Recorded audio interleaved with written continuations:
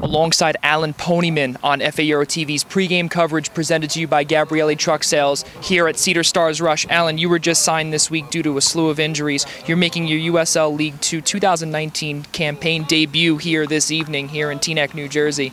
What are the jitters, or you have any jitters going on in, in you, or what's the feeling like right now for you? Well, uh, to be honest, not really. I mean, I've been in this position before. I mean, I love this club. It's been my uh, basically my youth club, and um, just excited to be back on the field for the for the USL two team and trying to make the most out of it. That's it. The team has gone through two consecutive losses against the Long Island Rough Riders and the Ocean City Nor'easters most recently. Here to conclude a three-game road trip, what does your team need to do, and what do you need to do to get a victory here tonight? Yeah, we need to put the we need to put the pressure on right away and and really not give them a second to breathe. So the second that whistle blows, we're out there 100% and giving everything we got until the final whistle.